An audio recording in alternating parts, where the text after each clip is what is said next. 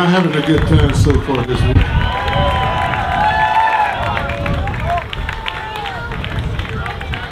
Where I've been? Been on the road for like 260 days this year.